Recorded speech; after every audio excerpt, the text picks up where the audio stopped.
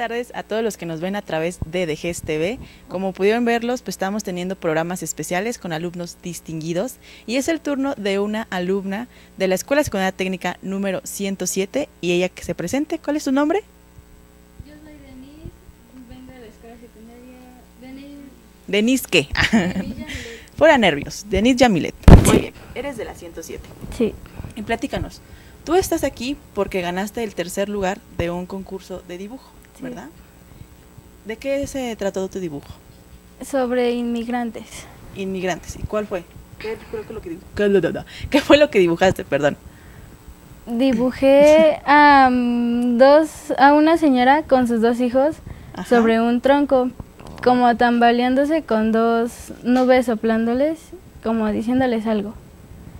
Que es que no olviden sus costumbres, que recuerden de dónde son sus raíces y que... Ok, ya te. ¿Por qué decidiste dibujar esto? Porque pues son porque hay muchos inmigrantes que cuando se van a otro país olvidan sus raíces y y pues ya creen que son de ahí y ahí ya se, se, sienten gringos, ¿no? Sí. ok, muy bien. ¿Qué fue lo que te motivó para entrar a este concurso?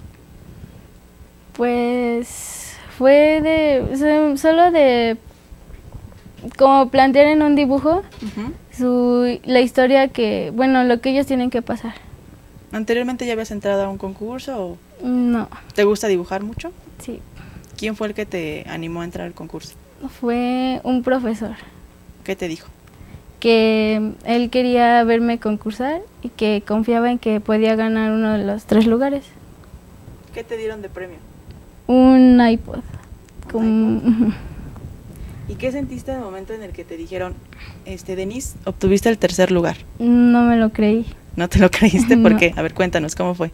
Pues estaba en el salón Ajá. tomando clase y me mandaron a llamar.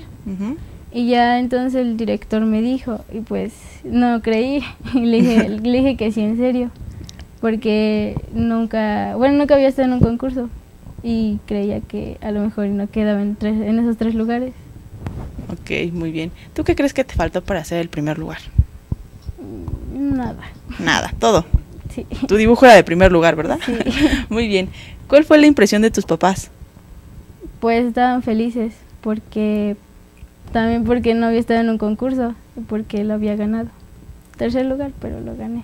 No, no, un tercer lugar es un tercer lugar, ¿estás de acuerdo? Muy bien. ¿Y tus compañeros? Me felicitaron ¿Sí? ¿Qué Sí. te dijeron? que, que les hicieron dibujo a ellos después. ya vas a este, dibujar por fotorretratos y todo, ¿no? Sí. Muy bien. ¿Y qué más nos puedes decir de tu experiencia en este concurso? Pues se siente bien que te, que te reconozca por lo que haces y por plantear así como cosas que mucha gente no ve. Ok. ¿Y tú qué le darías un mensaje a los inmigrantes? Que no olviden sus raíces. Aparte. que pues que que ellos tienen bueno que no es muy así que bueno que no olviden a su familia y así sus costumbres y todo Ok, muy bien. ¿Te gustaría volver a participar en este concurso? sí ¿Sí? ¿Y ahora con qué dibujo este concursarías? ¿Qué se te ocurriría hacer? pues tal vez sobre cuidar el agua tengo unas ideas ¿Cómo qué? como este como una llave que está tirando agua y está cubriendo a la mitad de un niño Ok, muy bien. ¿Te gusta dibujar a lápiz? ¿Con algún este plumón especial? con lápiz Lápiz. No dibujas, no coloreas. Mm, Pues cuando... No utilizas mucho el color, No. ¿no? ¿Por No. qué? Pues siento que se ve mejor así en grisecito o en negrito. En grisecito. Con en- sombras. Ok, muy bien. Eh, ¿Te gusta ir a, a exposiciones que tengan que ver con dibujo? Ujú. ¿Algún artista que admires? Ah, Frida Kahlo. ¿Por qué? Pues su historia es muy, este, muy interesante. Y sus pinturas y todo lo que hacía es también muy interesante. Ok, ¿Te sabes un poco de su biografía? Un poco. A ver, platícanosla. Mm, solo sé que tuvo un accidente, Ajá. que muchos la tomaban como surrealis- surrealista y pues Que se dibujaba ella misma. sí, que tuvo un aborto y estuvo mal por eso. Mm, De hecho, leí la carta que le escribió a Diego Rivera y está muy larga y muy interesante. En resumen, Pues le dice todo lo que era y le dice que lo quería mucho, que sí, que lo quería mucho. Ok, muy bien, Frida.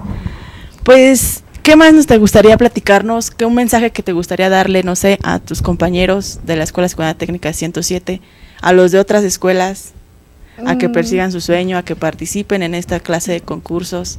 Que confíen en ellos, que pueden, si concursan pueden, gan- pueden ganar cualquier lugar, serán reconocidos.